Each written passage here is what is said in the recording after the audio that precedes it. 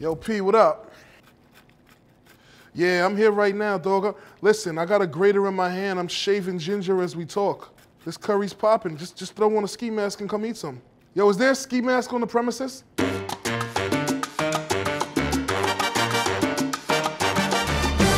Meyhem Lauren in the building. Welcome me back. This is not your traditional curry chicken because the age-old debate, what's better, a Jamaican curry chicken or a Thai curry chicken? Now this is somewhere in the middle. Phase one, chicken breast, chicken thighs. We're spreading this out now. We're gonna season. Start with a little of this kryptonite, a little salt. This is a spicy Jamaican curry. You know what is? I'm a late night curry person. When you have curry in the dark, your life changes. I use cayenne in almost everything I cook. Don't judge me. It's olive oil, you know. See, season one side of the chicken. We have to flip the chicken. Color's important. If you don't like the look of what you eat, it's like it just doesn't even really matter what it tastes like. Make sure you roll your lime. Make sure your lime reaches its potential. Don't just cut it and say, oh, there's no juice in here. You wanna let this sit in the lime. You want this to marinate for about 20 minutes. I'll let this sit for a second. As we get started, the basis of uh, most of my recipes are garlic and olive oil. I ain't doing any push-ups today. I'm falling off. I'm not the man I once was. You hear that crunch? Oh yeah. I think I cook better when Bernardo's in the room. Bernardo's filming right now, and uh, at some point during this uh, how-to, I am gonna pull Bernardo from behind the camera, and Bernardo will sample some of the food. And do you see what's going on? The party's about to get started. The garlic's browned, pretty much. We're gonna um, drop the chicken directly on top. That's the sound that you wanna hear. That's just like an amazing sizzle.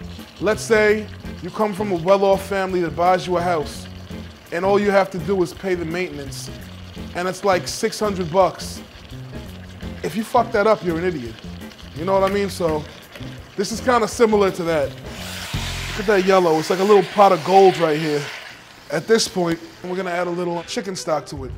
Chicken stock, chicken broth, chicken juice, chicken soda, whatever you wanna call it. Although I never heard anyone call it chicken soda ever in my life.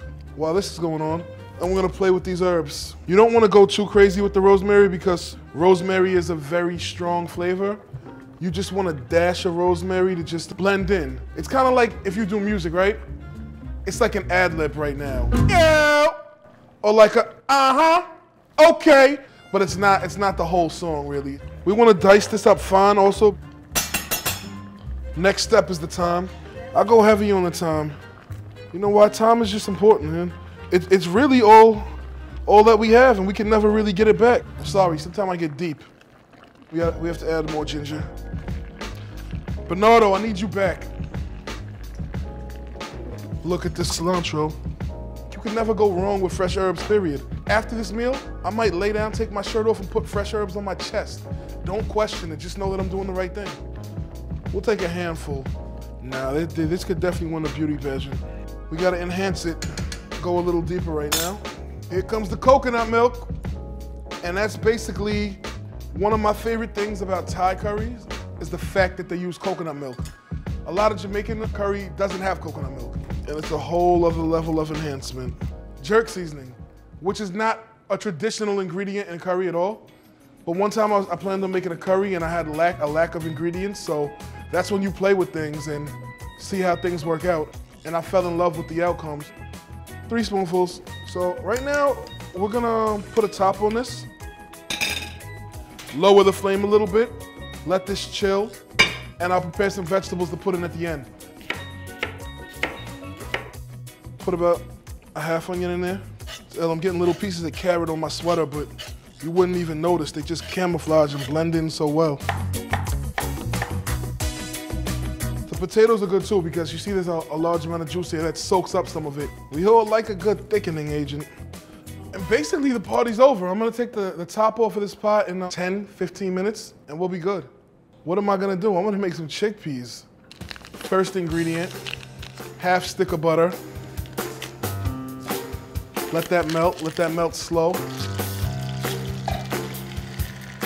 Throw a little onion in there, a little salt. And since this is a family affair and we're all friends here, we're gonna borrow from our neighbor. You might have been thinking the whole time, oh my God, there's so much broth. There's so much juice. What is he doing? There's always a reason. We're gonna spice these chickpeas up a little bit. Take a habanero, cut, cut the habanero in half. Habanero's powerful. This, this is about a, I don't know, a six, seven, like, I like things spicy, but I'm, I'm always know that people can enhance spice as they want, so being that this is a family affair, so we're turning that off. We'll just let it sit. All right, it's time for the uh, curry chicken unveiling ceremony. Simply, you just take the lid off the pot, grab ourselves a nice ration. Make sure we have potatoes and carrots. So look at this. Look at this. Damn, it looks like there's room for one more thing on this plate. What could be missing? And here we have a tray of green macaroni and cheese has magically appeared. A half-eaten tray. So you know it's good. Good corner. Put a little of this right on top. If you know me, you know I love my cilantro.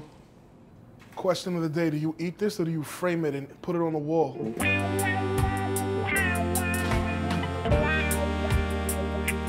This is ridiculous. Hands down, one of the best curries I've made. Um, I don't want to seem like I'm just tooting my own horn. So Bernardo, come here and try this. Now, don't worry, man. You're good for camera. Your camera ready. Go in. You can even take a spoon if you want, so you can get it all. I might lie to you, but Bernardo would never lie to me. So, are we popping? Good, yeah. Thank you. You want to talk about incredible pairings? Trust me, baked mac and cheese, curry chicken will change your life.